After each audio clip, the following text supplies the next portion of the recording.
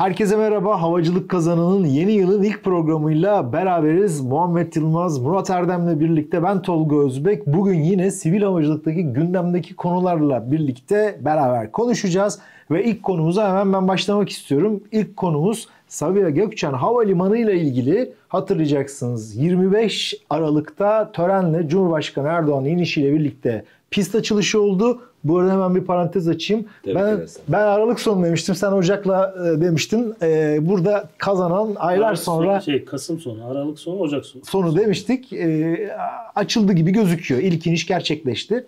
Ve sonrasında çok büyük bir ortaklık gerçekleştirildi ve Çeçen grubu İbrahim Çeçen IC Holding %50'siyle Sabiha Gökçen'in Malezyalıların ortaklığı ile artık 2024 Sabiha Gökçen için çok farklı bir bakış olacak. Şimdi Murat senden başlayalım istersen. Ee, pistten öte biraz ortaklıkla ilgili diyeceğim. Pisti sana soracağım Muhammed. Şimdi bu ortaklığı bekliyor muydun sen? Yani sürpriz olmadı. Ee, Bir ortaklık şeydi. bekleniyordu. Tabii yani e, İstanbul Havalimanı tarafından bir giriş olacağı e, ilk başta. Kalyon grubu şeydi. Tabii, uzun süredir Kalyon grubu ilgileniyor. Çok güzel. Hatta İGA komple. E, İGA'nın öyle bir e, alacağı şeklinde bir düşünce vardı. Yalnız e, tabii son dönemlerde de IC'nin artık alacağı e, konuşulmaya başlanmıştı. Çok Bir rakam geldi mi kulağına? rakam. Yok rakam gelmedi ama e, bir proje bazlı bir vaatler e, konuşuluyor. Tabii e, resmi olarak değil ama yani e, sadece ortaklık değil devamında Sabiha Gökçen Havalimanı'nın büyümesiyle ilgili bir projenin başlangıç ayağı olarak düşünülebilir. Yani e, şu anda e, Atatürk, e, Sabiha Gökçen Havalimanı'nda ikinci pist yapıldı ve en büyük şu andaki ihtiyaç biliyorsun terminal. Yani terminal projesinin de IC'nin ortaklığıyla birlikte hızlandırılması ve o terminal projesinin IC'nin e, güdümünde ilerlemesiyle ilgili bir vaat ya da söz gibi e, duyumlar var. Tabii ne derece doğru onları bilemeyiz ama şimdilik biz yani bu edinilen bilgi bu şekilde. E, tabii e, orada e, İstanbul Havalimanı'na rakip olarak değerlendirilebilecek bir rakip olarak e, görülebilir Sabiha Gökçen Havalimanı. Çünkü ikinci pist ve ikinci terminalle birlikte. Tabii şimdi terminal Orası- ihalesi olacak. Tabii. Muhtemel e, IC Holding'de e, bu arada tabii izleyicilerimiz için bir parantez açalım. IC Holding havalimanı inşaatlarının yanı sıra Antalya Havalimanı ikinci dış hatlar terminali Çelebi ile birlikte bu sektöre girmişti. Halen Zafer Havalimanı'nın işletmecisi ve yapımcısı e, bir taraftan da olayın bu boyutu da var. Yurt dışında da yakın zamanda bazı atılımlar. Evet yurt dışında zaten aldığı projeler, ihaleler Vietnam, var. Vietnam. Vietnam var. Ee, hani o açıdan hani havacılığa uzak bir şirket değil. Benim de aklıma ben şey geliyor. İstanbul Havalimanı ihalesinde Tabii, tabii, İstanbul inanılmaz Havalimanı böyle bir kıran kırana bir rekabet olmuştu. Evet, 2013 yılında yapılan ihale salonundaydım ben de. Ee, salonda, 11 yıl geçmiş Tabii, Murat 11 ya. geçti. 11 yıl ha- hayatı geçiyor. Yani o e, ilk zarflar açıldığında en yüksek teklifi IC tarafı vermişti. Yani Makyol'un 4 milyon 4 milyon milyar euro verdiği ihalede işte TAV'ın 9 milyar verdiği ihalede 20 milyar 20 milyar Tabii da 20 teklif. milyar euro ile kapıyı açmıştı. Yani o zaman demiştik herhalde Almanlar şey IC Fraport'la girmişti. Bu işi herhalde istiyorlar şeklinde yorumlanmıştı ama e, sonuna kadar da bayağı gitti. 70-80 tur devam etti. E, İGA tarafıyla e, IC Fraport tarafı ve sonra tabii İGA çok daha fazla istediği için beşli konsorsiyum orayı e, onlar almıştı. Havacılığın terminal tarafına, işletmecilik tarafına çok uzak bir e, e, durumda değiller. İşletmecilik Yeni de CEO geldi Yeni IC CEO tarafından. geldi, Ee, ben herhalde o biraz yönetim boşluğu ve e, Sabiha Gökçen'de sanıyorum yakın zamanda farklı değişiklikler göreceğiz gibime geliyor. Tabii yani sonuçta Sabiha Gökçen Havalimanı son dönemde e, hep böyle olumsuz, negatif şeylerle anılmaya başlamıştı. Hem e, temizlik anlamında hem operasyonel yoğunluk anlamında işte e, bir taraftan yapılamayan bir pist. Yani hep böyle negatifler üzerinde yoğunlaşılan bir havalimanı olmuş. Aslında çok stratejik bir e, öneme e, önem noktasına gelmişti İstanbul Havalimanı ile birlikte Atatürk'ün kapatılmasından sonra. Yani şehrin havalimanı olmuştu aslında. Çok Evet. ciddi bir Şehrin havalimanı. Tabii bir şehrin slogan. havalimanı. Evet. Yani Taksim'den Sabiha Gökçen'e olan mesafe e, Taksim'den İstanbul Havalimanı olan mesafeden 2 kilometre daha kısa. Yani aslında baktığınız zaman gerçek anlamda şehrin havalimanı ve ciddi anlamda bir potansiyeli vardı ama bu potansiyelin en iyi kullanılabileceği dönemde en büyük sorunları yaşadığı dönem oldu. Yani bir anda böyle o yoğunluğun gelmesiyle birlikte bir bocalama süreci oldu. Orada yönetimsel e, çatışmalar oldu. İşte CEO değişti. Yeni gelen CEO o da gitti. Yani bu e, yönetimsel anlamın anlamda bir organizasyonun işlememesinden kaynaklı sıkıntılar oldu. Tabii e, Serhat Roğupınar e, yeni CEO. Yeni CEO e, çok uzak değil. Bildiğim kadarıyla iyi yetkilerle gelmiş. Önceki CEO'nun çok fazla yetkisi yoktu. O yetkilerin e, kullanılmasıyla birlikte e, daha iyi işlevsel bir e, havalimanı modeli orada görebiliriz ama tabii orada olmazsa olmaz e, ikinci terminal. Yani ikinci terminale kadar orada e, ufak tefek e, yani sorunlar yaşanacak gibi görünüyor yani. İkinci terminal e, oradaki tek çözüm noktası bence şu andan sonra ikinci terminal ve aktif bir ikinci pist. Şu anda ikinci pist. Pisti ilgili... zaten Muhammed'le son bilgiler Aynen. onda konuşacağım. İkinci ben pist, e, tabii e, tabii açıldı ama e, konuşuruz. Muhammed konuşur. E, oranın da tam anlamıyla e, hayata geçmesiyle birlikte bu kapasite hani çarpı iki olacak diye konuşulan kapasite ancak ikinci terminal ve tam anlamıyla bir ikinci pistten sonra çarpı Tekrar konuşacağız. Evet. Bu arada tabii yaz sezonu itibarıyla da Ajet resmi olarak EOC'sini aldı. Uçuş iznini uçuşlara başlayacak ama ikinci pist gerçekten açık mı Muhammed? Pist açık. Uçak inip kalkabiliyor ama tek yönden. Ee, bildiğiniz gibi bir tarafta tıraşlanması gereken bir cami minaresinden bahsediliyordu. O tarafla ilgili bir tıraşlama için bir hazırlık olduğu ama henüz tıraşlanmadığını biliyoruz. Dolayısıyla pist şu anda bir taraftan tahtitli, diğer taraftan sadece tek yönde. Rüzgarın ve diğer durumların, e, koşulların durumuna göre e, uçak iniş kalkışı yapılıyor. Okey, bunda e, şeyiz. Ama genel itibariyle pist sadece bir pistten ibaret değil. Yan tarafındaki e, kargo uçakları için yapılacak olan kargo apronu, yolcu uçakları için yapılacak olan e, yolcu uçaklarına ait apronlar ve diğer taksi yollarıyla beraber bir bütün proje halinde elbette e, düşünüldü. Fakat e, bu her şeyiyle tam anlamıyla tamamlandığını söyleyemeyiz. Oradan yapılan çalışmalardan aldığımız bilgiler. Uçuş var mı şu an? Uçuş var ama nadir ve dediğim gibi rüzgar koşullarına ve diğer e, trafiğin genel durumuna bağlı olarak sadece iniş kalkış yapılabiliyor ve tek yönden yapılabiliyor. Bunu biliyoruz. Fakat orada yapılması gereken başka işler var.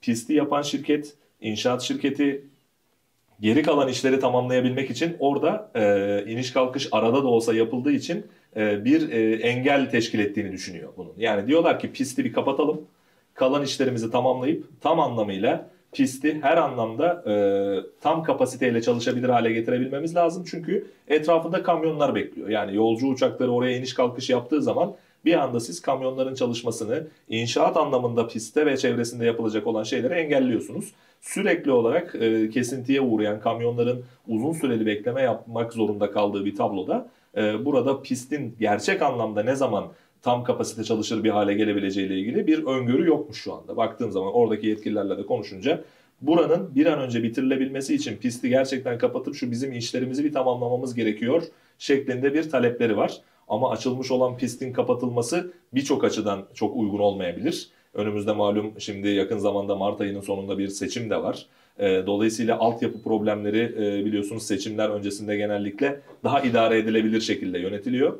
E, dolayısıyla ben o tarafta bu inşaat şirketinin talep ettiği kapatma işleminin seçimden önce yapılabileceğini sanmıyorum.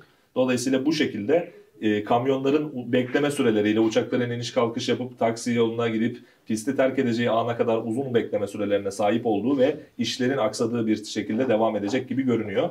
Ama tam anlamıyla pistin iki pistle işlerlik kazanması gibi bir durum açıkçası Sabiha Gökçen'de şu an söz konusu değil. Asla ve asla içinde bulunduğumuz an itibariyle Sabiha Gökçen iki pisti de tam olarak çalışan, aktif iki pisti olan bir havalimanı konumunda olamadı şu an. E o zaman görüntü şu itibariyle herhalde bir seçime kadar bekleyeceğiz. Arkasından birkaç ay kapanacak bu pist. Bütün altyapı tamamlanacak ve sonra da eski kullanılan pist yani. kapatılıp o büyük bir bakım yani biz o zaman 2024 yaz sezonunu pas geçmiş pas durumdayız. İyi ihtimal söyleniyor. 2024 sonu e, gibi şeyler de söyleniyor. Bazı öngörüler, projeksiyonlar var. Çünkü yapılacak çok fazla iş var o bölgede. Kabası bitti ama detay Kaba bunlar. Detay ama o detaylar olmadan da sistem kapasite çalıştıramadığınız bir pistte açıkçası tam anlamıyla işinize yaramayabilir. E tabi tam kapasite pist olduğunda uçak sayısını da ikiye katlayamayacaksınız. Onu destekleyecek terminal de yok şu anda zaten. E, yani uçak trafiğini, hava trafiğini, yolcu trafiğini bir anda iki katına çıkaramayacaksınız ister istemez. Çünkü zaten mevcut terminal bile Ee, özellikle yoğun dönemlerde sen de kısa süre önce yaşadın. Yaz tatillerinde, ara tatillerde, ne bileyim bayram tatilinde, yılbaşı tatilinde terminal kaldırmıyor. Sen Artık normal günlerde Normal Normal günde bile günler. kaldı. Her hafta aşağı yukarı otopark kapalıdır diye e, bir bilgi geliyor Sabiha Gökçen'den. Yani kaldı ki sen iki tane pisti şu an aktif ve işler hale getirip Sabiha Gökçen'in yolcu trafiğini, hava trafiğini ikiye katlayacağım dediğin zaman bu biraz hamaset gibi oluyor. Çünkü onu destekleyici bir terminal yapamadığın zaman bunu gerçekleştiremeyeceğin aşikar. Yani yapılması gereken çok fazla iş var şu anda orada. Peki şimdi hemen ikinci konumuza hızlı bir şekilde geçelim. Malum Japonya'da çok enteresan bir kaza oldu. Havacılık tarihine geçecek. Belki bu kazadan alınacak dersler e, yeni kurallara da e, doğru bir geçiş gerçekleşecek. Burada tabii gerçekten başarılı bir tahliye kimsenin yolcu uçağı tarafında hayatını kaybetmemesi çok büyük bir şans. Ama diğer taraftan da ne yazık ki e, Japon sahil güvenlik uçağının bekleme noktasında olmaması, piste çıkması gibi ön bilgiler var. Kaza raporundan detaylı gelecek. Çok özür dilerim ama şurada söyleyeyim bizim yaptığımız paylaşımların altına da geldi. Sanki böyle kimse öbür tarafta ölmedi deyince diğer 5 kişinin ölmesi bizi çok ilgilendirmiyormuş gibi bir anlam çıkarılmış ve o konuda bazı duyarlı vatandaşlarımız da olmuş. Onu da söyleyeyim. Tabii ki 5 kişinin hayatını kaybettiği bir kaza ama yolcu uçağındaki insanların da yanarak ya da çok daha farklı bir faciaya, katastrofik duruma dönüşmemesinden dolayı biz bunu iyi bir şey Söylüyoruz, gibi lanse evet, ediyoruz. Bunu evet. bence söylemekte fayda var. Benim bilgi de sonradan geldi aslında. Yani o uçaktaki Tabii. 5 kişi kayıp olarak Evet. değerlendiriyordu. Yani e, öldüklerinin teyidi çok sonra geldiği için aslında Evet. ölen ifade edilmesi. yani burada yurt dışında e, muhtemel e, o cesetlerin tespiti, ailelere ulaşılması, bilgi verilmesi gibi hani bizde çok fazla olmayan şeyler hızlı bir şekilde e, hayata geçiyor gibi. Benim aklıma hemen şey geliyor. Bu kaza eğer ülkemizde olsaydı kabinde neler yaşanırdı? Yani gerçekten uçak durmadan kemerini açanlar, ayağa kalkanlar, fırlayanlar, e, bavulunu alıp belki tahliye edilmeye kendince çalışanlar falan gibi çok kısa senden Murat Bu alalım. arada şöyle de bir şey var. Japon Hava Yolları açıkladı. Uçağın e, intercom anons sistemi çalışmıyor. Ona rağmen yani Oo. Megafonla, megafonla. Tabii. Megafonla. Normal manuel olarak e, kabin ekipleri e, sesleniyor yolculara. Yani Zaten acil durum ekipmanları arasında megafon var ya tam Evet. anlamıyla gerçek anlamda ihtiyaç olunan bir durum yaşanmış belli ki. Çoğu zaman çoğu uçakta o megafon. ona rağmen yani e, uçakla alevleri görüyorsunuz. Yolcular koltuğunda oturuyor. Hiç kimse kalkmıyor yani. Yani biz de Osman Gazi Köprüsü'nü gördüğü zaman insanlar ayağa kalkıyor. Yani geldik artık falan diye. yani böyle bir durum varken orada yolcular e, tamamen kendilerini kabin ekibinin tecrübesine emanet etmiş ve e, onların direktifleriyle hareket edecek pozisyona geldi. Bu da çok Bunu- önemli. Tabii yani bunu ilk yani o kazayla ilgili ilk değerlendirme aslında benim buydu. Yani o çünkü 379 kişinin uçaktan tahliye edilmesi öyle e, çok 12 mürettebat, Tabii, bir 367 şey. yolcu inanılmaz bir rakam. Yani şeyler de çok bilinçli ya. Atlarken de mi düşmediniz Tabii. bir yerinizi kırmadınız? Kırmadınız, yani evet, hiçbir evet. şekilde e, o demek ki güvenlik demo videolarını herkes e, incelemiş ve dikkatle izlemiş. Biz Ja- şimdi Japonya depremler, Tabii. felaketler ülkesi Kurallar ve ülkesi insanlar aslında. çok kurallara Tabii. çok bağlı, eğitim düzeyleri yüksek. Ja- Japonya'da bildiğim kadarıyla bir şey varmış atasözü bu tabii bu olayları derinlemesine araştırırken gördüm. Ee, hiçbir kural hiç yani hiçbir insan kuraldan daha önemli değildir şeklinde bir e, doğru çevirisi olmayabilir ama yani bütün kuralların bütün insanlardan daha önemli ve değerli olduğu ve herkesin uyması gerektiği mantalitesini anlatan bir sözleri de varmış. Hakikaten de doğru bunu o hayatlarına geçirmişler zaten. bir de şey var yani 8 tane e, acil kaçış e, kapısından 3 tanesi çalışıyor. Yani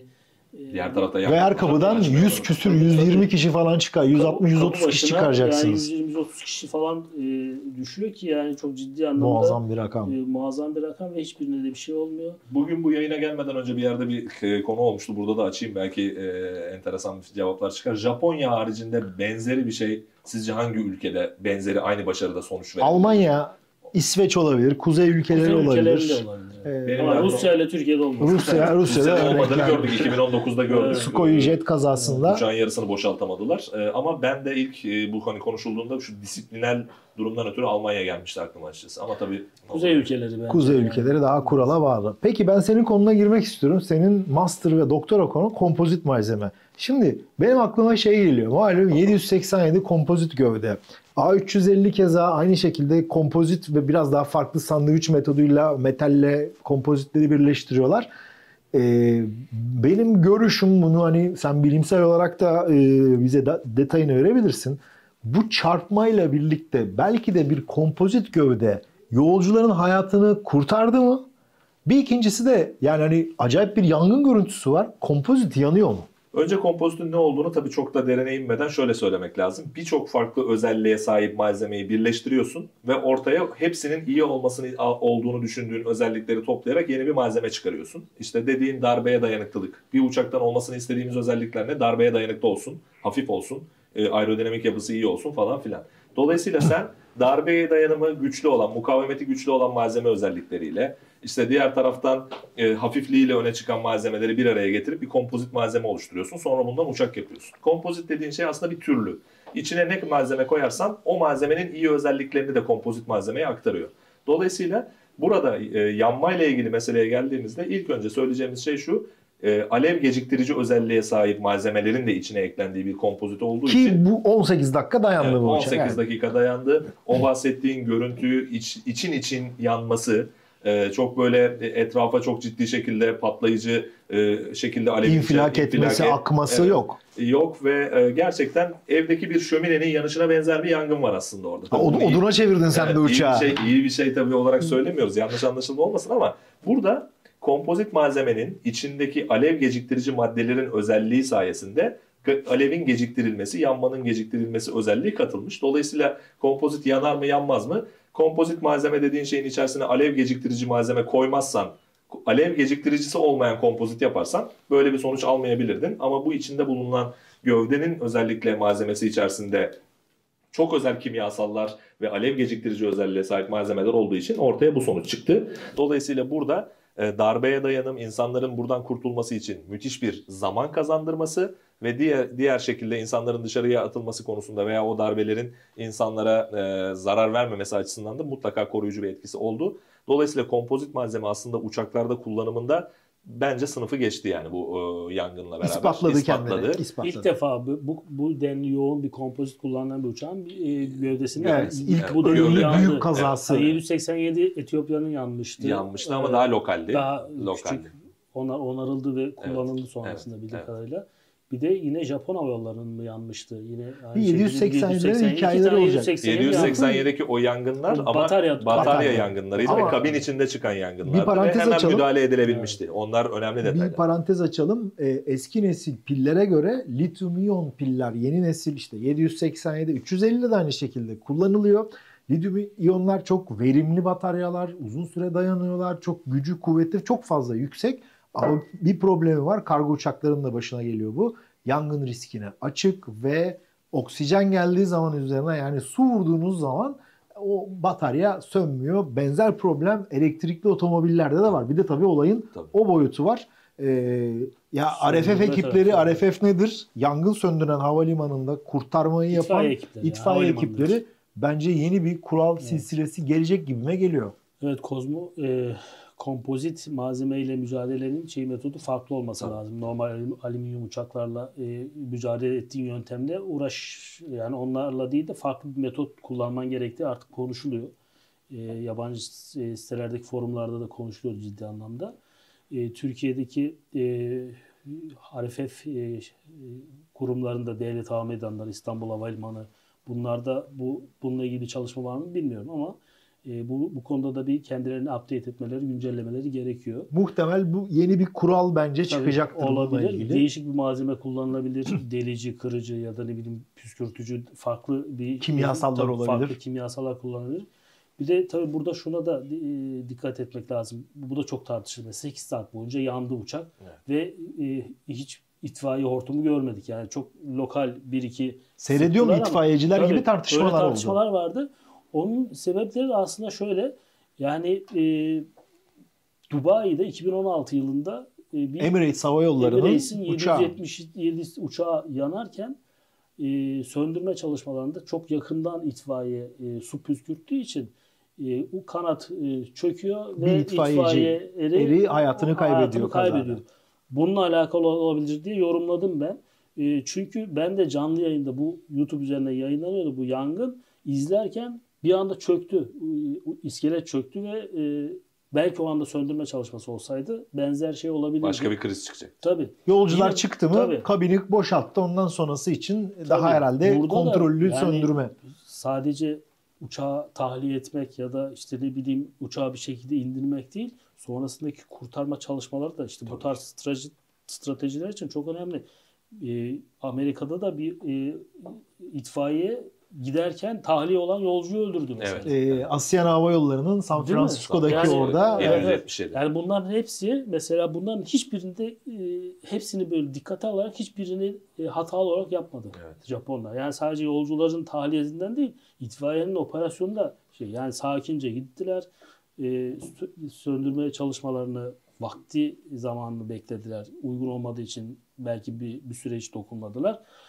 Öncesinde ve sonrasında o kısmı da çok iyi yönettiler yani RFF ekibi. O anlamda da e, onları tebrik etmek lazım. Aslında Yani- bence şöyle çok özür dilerim. Ee, Birçok insan bahsettiğin gibi işte e, yangına söndürmede geç mi kalındı falan filan dese de kompozit malzeme kendini burada ispat etti. RFF'çiler yangına nasıl müdahale edilir ispat etti. Kabin Kabin ekipleri- ekibi tahliye konusunda is- ispat etti. Pilotlar belki de e, o çarpışmadan sonrasındaki süreçte belki de nasıl olması ya da olmaması gerektiği konusunda kendini ispat etti. Bence Yani orada bir soru işareti var. yani. Ha, ya bilemiyoruz. Bunu biraz daha detaylı zaten o raporlarda herhalde olacak. kaza raporuyla daha Ama şu netleşecek. bir komple paket halinde adamlar krizleri nasıl, herkes kendi üzerine düşen şeyi nasıl yapıyor? Bir komple paket halinde kendilerini ispat ettiler. Bence çok özel bir şey. Herkesin bütün dünyadaki e, ne iş yapıyor olursanız olun bu işlere bir şekilde bulaşıyorsanız çıkarılması gereken çok mesaj var kendisine. Bir de tahliyeden sonra el ele tutuşma olayı O duydunuz da mu hiç? o da enteresan Evet, yani. yani el ele tutuşurlarmış. Onlu gruba var herhalde saymak için herhalde. Herhalde. Tabii. Ee, Eksik var. şimdi düşünün Eksik. orada şok halde Tabii yangına gidebilir. Der ki ben bavulumu alacağım diyebilir. Gerçekten Evet. o belki tutup kontrol etmek o da olayın farklı bir şey ama çok e, yeni kural çıkar bence bu kazadan sonra. Ben başka bir taraftan bakayım. Mesela e, şimdi e, ailecek gidiyorsun. Eşin, üç çocuğun bilet aldınız. Bir atıyorum Amerika'ya gideceksiniz. E, ücretli birçok şirket artık ücretli yaptırıyor. Yani yer seçiminde o seat select olayını para Hmm. veriyorsun ve yerini seçiyorsun. Yoksa otomatik olarak sen ona bıraktığın zaman seni 22A'ya veriyor. Öbürünü 39K'ya veriyor. Bilmem kendi çocuğun yani eşin 10 sıra geride falan. Şimdi bu olaydan sonra bu da tartışılmaya başlamış. Ee, böyle bir durumda sen ne yaparsın? Çocuğunu çocuğunu ararsın. Yani eşini ararsın. O kurtuldu mu o panikle yani Çıkabildi tabii mi? çıkabildi Tabii, mi tabii. ona ulaşmaya çalışırsın falan. Bu olaydan sonra belki bu koltuk seçimi ailelere özel olarak belki farklı şekilde değerlendirilir. Yani Bir aile bölümü Tabii. oluşturulacak. Aile, aile şeyi e, çekimlerini e, ücretsiz yapma noktasında belki havayolu şirketlerinin bir tasarrufu olabilir. Belki İki da- buçuk üç yıl önce bu konuyu ben Hmm. e, kendi hem web sitemde hem sosyal medyada paylaşmıştım. Şöyle bir haber vardı. Uluslararası bir makale gibi bir şeyde. Aile bütünlüğünü uçakta bozmak, boarding'de bozmak, e, acil çıkış problemlerinde ya da emergency durumlarda e, durumu çıkmaza sokabiliyor şeklinde bir başlığı vardı. Tam hatırlamıyorum. Belki şeyin altına, videonun altına link olarak ekleriz onu ben sana gönderirim. Olur, olur. Yani aile bütünlüğünü uçak içerisinde bozmanın bu tarz emergency durumlarda tahliye sürecini çok ciddi şekilde aksatacak bir e, biraz da içgüdüsel aslında çok da yargılamamak lazım. Yani eşine, dostuna, çocuğuna kavuşmaya Herkes çalışmak eşini e, a- a- arar yani. arar o esnada. E, o, o konu yani gerçekten uzun zamandır aslında tartışılan bir konuydu. Belki dediğin gibi bundan sonra bundan sonra Acaba şey ilgili olabilir belki havayolu şirketlerinin belki farklı bir şekilde karar alması. daha yüksek perdeden dillendirilmeye başlanabilir. Belki de öyle başlaması da gerekiyor. Ee, bir de tabii gelelim yılın son günü olan Diyarbakır'daki iş jeti kazasına. Ee, Diyarbakır hatırlayacaksınız Türk Hava Yolları'nın 2003'teki kazasında işte ailesi o yıllarda yoktu. Kötü hava şartlarında görüş düşük olduğu zaman limitleri zorladığınız zaman ne yazık ki kaza meydana geliyor.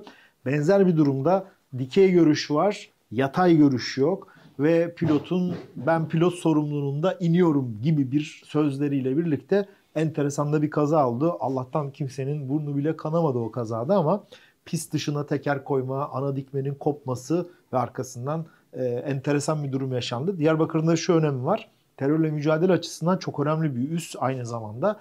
E buradaki tabii o kaza kırım olunca pist kapanmak durumunda. O saatlerde bir şey olsa bilemiyoruz nereye olay gider. O da olayın farklı tarafı. Biraz ben iş jetleriyle ilgili e, konuşmak istiyorum. E, iş jetlerinde biraz daha e, işte kaptan olma, limitler, şunlar bunlar biraz daha böyle gevşek mi diyelim Murat ne diyorsun? Yani orada tabii e, biraz e, kişinin inisiyatifine bırakılmış bir boş alan var. Yani e, şimdi mesela bir havayolu şirketinde pilotun FTL'e göre uçacağı saat belli. Aylık, günlük, yıllık neyse hepsi belli bir çerçevede uçmak e, durumundasın. Üstüne çıkarsan bu bir şey e, suç olarak değerlendiriliyor ve e, şikayet edildiği anda yaptırım, Kural dışı. Ya tabii yaptırım oluyor.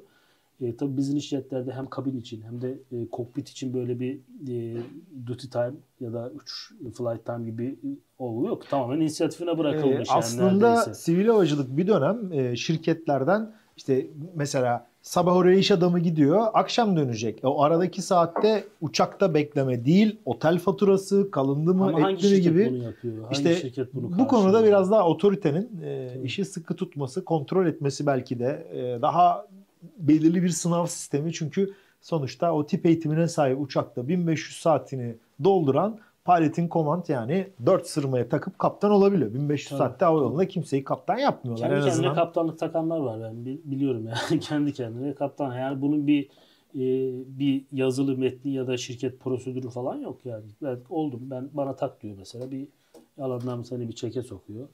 Tamam Ondan sonra kaptan pilot takıyorsun oluyor. dört sırma. En kolay kaptan, pilot olma yöntemi o zaman. Öyle mi? gibi.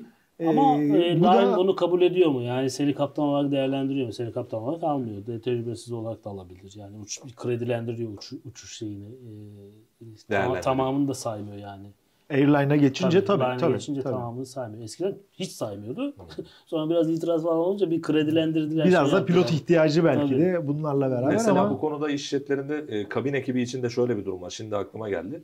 Kabin ekiplerinin de normal şartlarda bir insanın kabin görevlisi olabilmesi için işte ilk yardım Lisansa eğitimi, yok. e, Tabii, şey olması gerekiyor. Mesela e, Japon kazasında gördük. Kabin ekiplerinin ne kadar bilinçli, eğitimli olması, gerekirse sağlık problemi yaşayan birisine ilk ilk sağlık hizmetini verebilecek durumda olması için bir eğitimli olması acil lazım. durumda kapıyı açabilmesi Evet kapıyı aç. Ama iş jetlerinde kabin ekibi yani profesyonel kabin memuru ya da kabin görevlisi olma kuralı yok. Bir dönem biliyorsunuz otellerden şuradan buradan e, insanlar toplandı e, iş jetlerinde kabin görevlisi olarak hizmet versin diye. Hani milyon dolarları olan iş jeti olan patronlar kendi canlarını aslında kimlere emanet ediyorlar sorusu tartışmaya açılması lazım. Şimdi sen e, kabin eğitimi veya içeride o ilk yardım eğitimine ya da herhangi bir şekilde uçuş emniyeti Çünkü hakkında onlar yolcu olarak uçuruyorlar. evet Ekip görünmüyor. ekip gözükmüyor tabii. tabii. yani, Yani o- şey, manifestoda yolcu görünüyor. Ya kabin memuru almamış bir eğitim, al- e, kabin memuru eğitimine sahip olmayan profesyonel birisiyle iş yaptığın zaman yarın öbür gün bir emergency durumunda onu nasıl kurtaracak? Yani biz hep kabin memurlarını sanki bize servis ve ikram e, hizmeti yapan birisi olarak algılıyoruz ama daha iki gün önceki kaza bunu gösterdi.